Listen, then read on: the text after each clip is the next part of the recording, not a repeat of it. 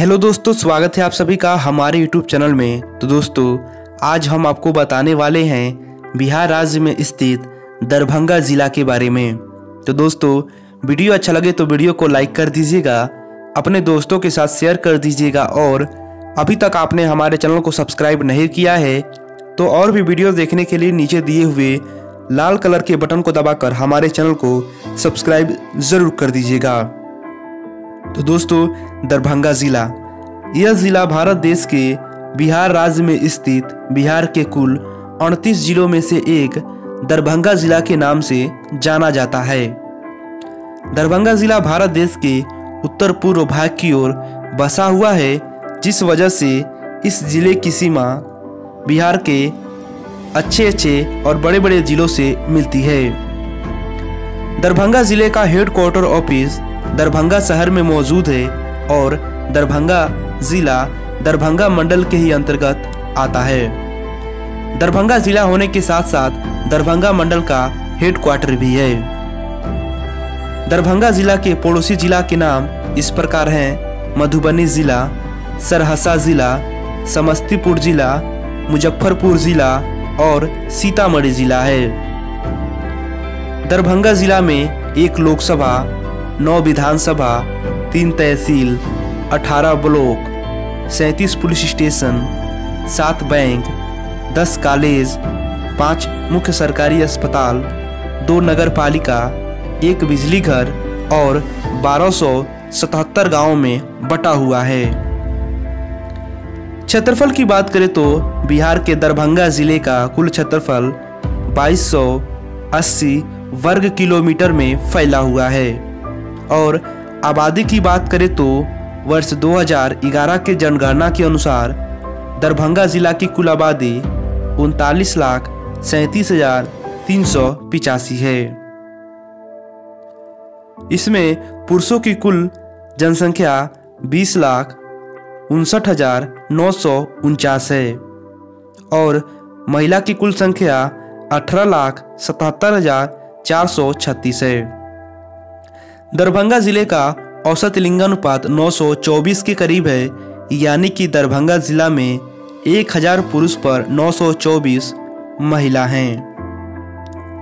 दरभंगा ज़िले का वाहन पंजीकरण संख्या नंबर बी आर ज़ीरो सात है। दरभंगा जिला के मुख्य नदी का नाम बागमती नदी है। बागमती नदी के किनारे पर बसा यह जिला बिहार की राजधानी पटना से महज एक सौ उनतालीस किलोमीटर तथा देश की राजधानी दिल्ली से लगभग 1140 किलोमीटर की दूरी पर बसा हुआ है। सड़क रास्ते की बात करें तो दरभंगा जिला बिहार के प्रमुख बड़े शहरों में से एक है। इस जिला के माध्यम से कई ऐसे छोटे बड़े सड़क गुजरती हैं, जिसके माध्यम से यहाँ के लोग बिहार के बड़े बड़े शहरों में जा सकते हैं। वैसे इस जिला के माध्यम से नेशनल हाईवे संख्या 27 और नेशनल हाईवे संख्या 105 गुजरती है, जो आगे चलकर बिहार के बड़े बड़े शहरों के साथ जुड़ती है। दरभंगा जिला बस के माध्यम से भी पड़ोसी जिला और जिला के छोटे बड़े गाँवों तक भी बस सेवा मुहैया प्रदान कराती है।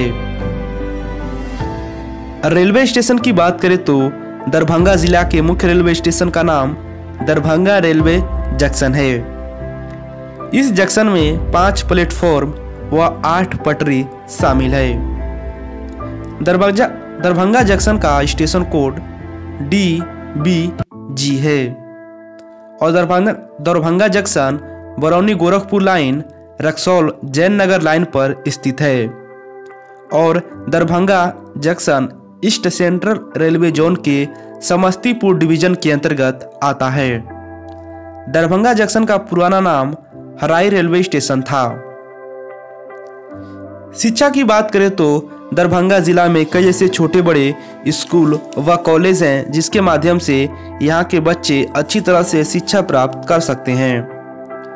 दरभंगा जिला बिहार के उन बड़े जिलों में शामिल है जिनकी साक्षरता दर यानी कि वहाँ के लोग पढ़े लिखे हैं। दरभंगा जिला की साक्षरता दर 88 प्रतिशत है, यानी कि दरभंगा जिला में 88 प्रतिशत लोग पढ़े लिखे हैं, जिसमें कि पुरुष व महिला दोनों शामिल है।